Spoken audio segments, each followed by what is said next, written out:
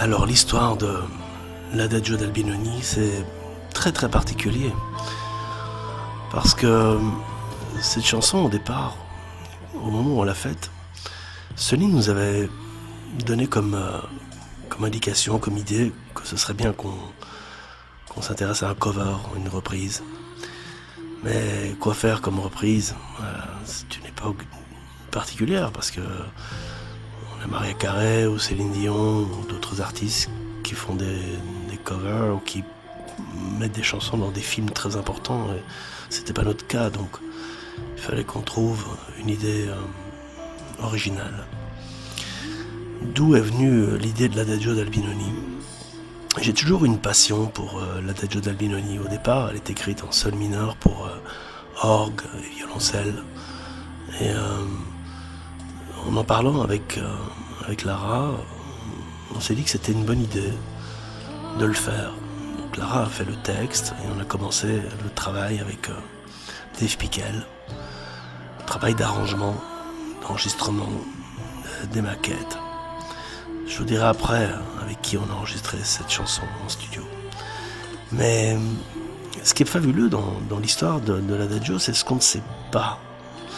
Et je vais vous dire ce qu'on ne sait pas. Quand on a sorti la chanson, on a eu un appel d'un éditeur italien qui nous demandait de retirer le titre de l'album de Lara parce qu'on n'en avait pas demandé les droits.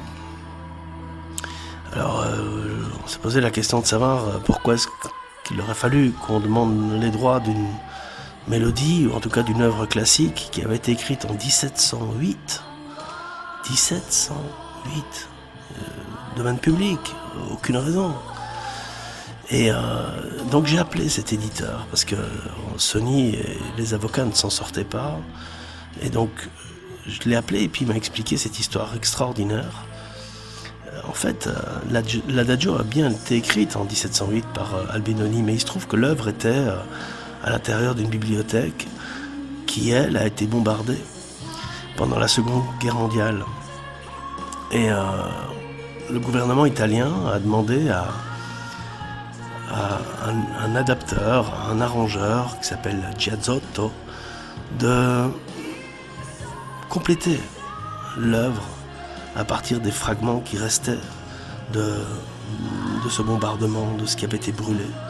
Alors à ce jour, on ne sait pas ce que Giazzotto a fait. Il est décédé en 1998 et euh, n'a jamais écrit aucune partition, il n'a jamais révélé s'il s'en était inspiré, s'il l'avait complété, ou si ce qu'il avait gardé de l'œuvre originale.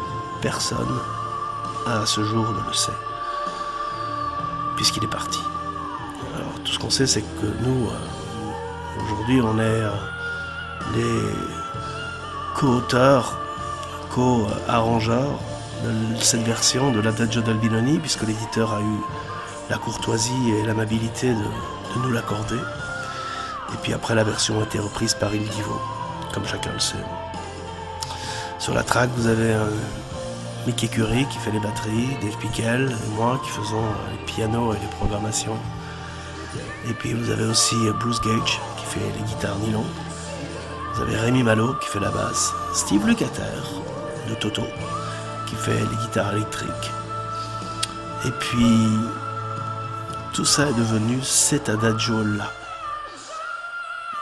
300 ans plus tard, alors qu'on ne sait toujours pas qui a réellement écrit cette chanson, eh bien, elle existe. De la façon dont vous l'entendez, de la façon dont vous l'écoutez. On en est fiers, cela dit. Je voulais que vous connaissiez l'histoire. C'est Eric, je vous embrasse. À bientôt.